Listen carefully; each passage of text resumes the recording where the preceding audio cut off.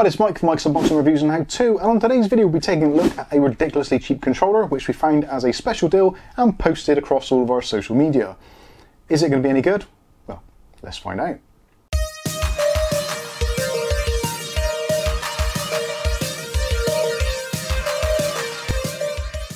Okay, so in today's video we're taking a look at a, uh, a game controller from EasySMX. This is the SL9111 and this is a wired controller for use with various devices such as things like your PlayStation 3, your Switch controller, Android devices using OTG, Windows devices, which applies to me, and also other things like iPads, tablets, etc., etc., with a suitable adapter.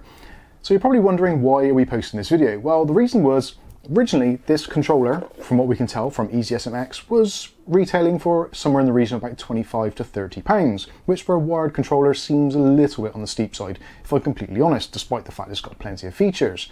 So when we found it actually advertised on Amazon.co.uk for 12.99, I had to jump on it. I've been using a slightly older Xbox 360 controller, which is definitely showing signs of age, We've gaffer taped it as much as possible, but still every now and then the USB breaks down, uh, normally in the middle of a Rocket League match, which is extremely frustrating. I do also have some other controllers from EasySMX, as they have previously sent us controllers for review purposes. This one isn't sponsored, and this is actually one we found ourselves and actually purchased ourselves, so we can be completely open and honest, as we generally are, but possibly with a slight more vengeance and a little bit more anger, being the money has come out of my own pocket. So like I said, we found this as a fantastic deal, and for those of you that follow us on Discord or maybe on ShopSmart, which uh, links will be in the video description, you'd have probably seen this posted, and maybe by the time this video is aired, you've possibly already spent your money on it, and you probably know how good or indeed bad it possibly is. But we'll go through all the things, do the unboxing, take a look at the controller, do some actual real world gameplay, see what it's actually like, and see if I can actually use this as my main everyday controller. We do have wireless ones, like I said before, but to be honest with you, I do prefer the uh, simplicity of just plugging in an old-fashioned USB controller and just getting on with it. Don't have to worry about batteries being charged or looking for a charging cable, all those kinds of things. So for me, this could be uh, an absolute godsend. So looking at the packaging, some of the specifications we've got here, I'm not entirely sure who printed the box or where the specifications come from actually on the Amazon link, which if you want to click on now and open another tab, you can go through the links as well and see what the deal is. I've got to be honest with you, I'm completely uh, yeah, confused beyond all belief. I have had far too much coffee today, so potentially that may have something to do with it, but feel free to read along and see if you understand any of it, because I really don't. So it says first of all, you've got the uh, rocker fine tuning, also you've got rocker sensitive rotation, and also lightning change direction. And it's got a 2.4 gigahertz thing on there. This isn't wireless in any way, shape, or form, and actually looking on the Amazon listing, it does talk about 2.4G and those kinds of things. So, yeah, makes no sense at all. This, just to be completely clear, is a wired controller. For those of you that actually want to buy stuff directly from Easy SMX themselves, they do actually on the box have a QR code which you can scan. I'll put this on the screen so you can scan it yourselves if you want to, and you can claim a discount, uh, 20% off purchases. There's also inside the box comes with instructions and also a manual to show you how to use it, how to set it up, etc. And also another little QR code which you can scan to get, I think, $10 off. So potentially that may be of use to you if the deals have actually run out and there's no longer any stock available. Okay, so with all that guff out of the way, let's take a look at the controller and see what it's actually like. Now, my first actual impressions of this is it doesn't seem like a cheap controller. It's actually pretty well made, very sturdy indeed, virtually no creak to it whatsoever and we've got a ton of buttons on here. The cable itself, um, yeah, not brilliant. It is a rather smooth kind of traditional cable, no braiding as such, and we've only got a regular USB connection, no gold plating on this, but certainly seems long enough. We're looking about two meters long for the cable, so yeah, absolutely fine. We do have an absolute plethora of buttons on here. So looking at the front, we have got the traditional analog sticks, both left and right. D-pad button, you've also got a back, a turbo, a start and a mode button, and in the middle you've obviously got your home button which which is useful for things like the uh, Xbox game recorder that kind of thing. And obviously you've got your buttons there. In this particular mode now that it isn't illuminated you can't really tell which button is which. It does say on there A B X Y. You can kind of just about make out. I'd have liked to have seen these actually been in a regular color but don't worry because when we plug it in everything lights up and looks absolutely wonderful. On the top of the controller or yeah, I guess you'd call it the top of the controller. So we've got our additional buttons. So you've got your L1, L2, and also RT and LT. So nice trigger buttons, and you'll be glad to know that the trigger buttons are analog, so they're not digital. So if you have a small movement, it becomes a small movement on your game engine speed, whatever it may be. I do prefer this. You do find that some controllers actually are digital, so it's literally a click on, click off, which is absolutely useless for the majority of games, in my opinion. Also, looking a little bit further down, we've also got four customizable buttons. So there's M1, M2, M3, M4, which are these kind of rocker ones here, which can be custom configured. So all you need to do is press and hold the button that you want to configure. So say for instance M3, so press and hold that one, press the back button, then the LED will change color on the ring here and then you can associate a different button with it should you wish to. I don't think many people will find much use in that and they don't actually appear in Windows as additional buttons. So they are kind of um, yeah, like a combo button or maybe a macro button. Also, there's another two buttons of note which are actually pretty handy. So one of which is a lighting button. So we've got that on the left hand side. You can press that one to change the levels of lighting for the overall controller for the X, Y, A, B buttons and also the ring around the analog controller. There's five gradients, one of which is off. So there's 25%, 50%, 75% and 100%. So yeah, that's pretty good. If you don't like brighter lights on your control pad, then you can adjust those if you want to.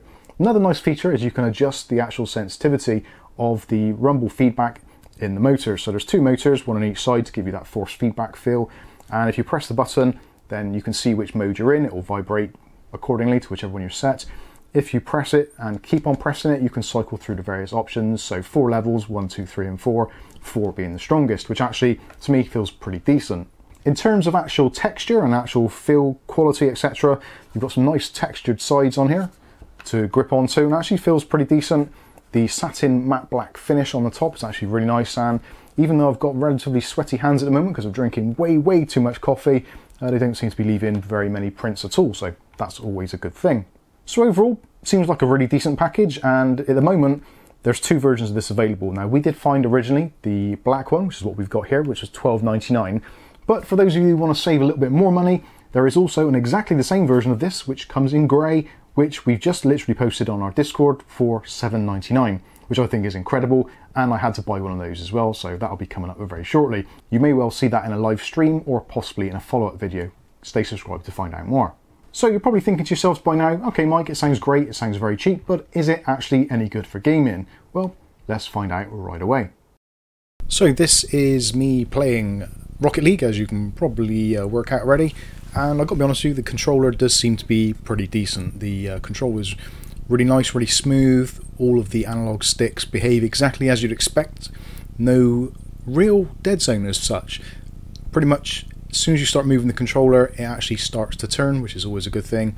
And those analog triggers are absolutely fantastic. No issues whatsoever. It did take me a little while to get used to them. They weren't quite as long and protruding as they are on the Xbox 360 controller, which I'm used to using. But after a very short while, did become second nature and felt actually very tactile, did the job exceptionally well. And I'll be honest with you, I don't actually miss the controller that much, although I did miss that open goal there pretty much so. Yeah. Anyway, that is uh, Rocket League. Worked absolutely flawlessly, as you'd expect, very responsive. Yeah, no issues whatsoever. Okay, so this is Far Cry New Dawn, a little bit of a, a different one to be uh, trying to use with this type of controller. And first of all, yeah, the uh, the down click to run is a little bit a little bit vague. Not too bad though, but it does require quite a lot of force. So for those of you that are doing that sort of game, you might find it a little bit off. The trigger, very good. They're actually the dead zone is kind of, it says on there there isn't one. If you move it slow enough, it will very vaguely pick it up.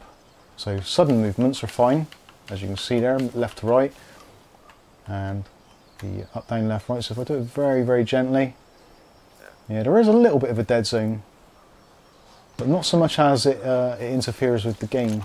But the actual uh, click to run yeah, isn't great. So let's, uh, let's see if we can actually find someone. Yeah, it's actually not a bad joystick. The, um, the click, you can probably hear, is a little bit on the tough side. Not as nice as the original Xbox 360 controller in that respect. But yeah, seems to be okay. And the uh, there doesn't seem to be any problems with any random movements, so yeah, the control is seems to be pretty good. Might be, if anything, a little on the slow side. Actually moving around, so I might need to adjust that actually in game. And the uh, triggers seems to be good. Yeah, I think that uh, I think that pretty much does it all. The uh, buttons on the top are a little bit weird to get used to because they're not quite where you'd expect to see them. But other than that, yeah, seems a-okay. Okay, so there we go, We've done some gameplay and actually, yep, not too bad at all for the money. You cannot go wrong, you really can't. It does feel very precise, very accurate. And the one thing which kind of gets me a little bit, I'll be honest with you, is the buttons here for the back and forward or start and back, that kind of thing. Because you've got the two extra buttons underneath, it's not quite as simple as it would be in some games to just find those normal buttons which should be there. But again, not the end of the world. And as you can see there, we've got the, uh, the buttons are all lit up now. So if we press the LED button, you can cycle through the different lightings to choose which one you prefer. But yeah, overall, really good. Rocket League, absolutely fine. The analog triggers on the bottom work exactly as intended, so it's not just on or off, it is actually incremental, so that's really nice to see. But overall, yeah, nice, uh, nice controller, feels good in the hand, works very well, no complaints. So there will be links for this in the video description. Hopefully it's still going to be at a similar price. If it isn't, if you click on it and it's a different price, do let us know and we'll try and update it or find other links which will be suitable. I would say at the original price of about £20, £25, there possibly is others on the market that you may prefer. Again, this has got a lot of nice features, is compatible with a lot of devices, but for some you might find the uh, the start and the back buttons being a little bit on the odd side. But otherwise, other than that, absolutely fine. And I think I'm on fire looking at the game behind me, and yeah, the vibration is uh, pretty pretty good. In actual fact, that was only on level two. So that's on level four yeah, it's a, it is a pretty powerful vibration motor in there. So yeah, lots of flexibility and at this price you certainly can't go wrong. So let me know what you think about this one in the comments below. But in the meantime, I've been Mike. This is Mike's Unboxing Reviews and How To and hopefully we'll catch you, yes, you, in the very next video. Thanks for watching.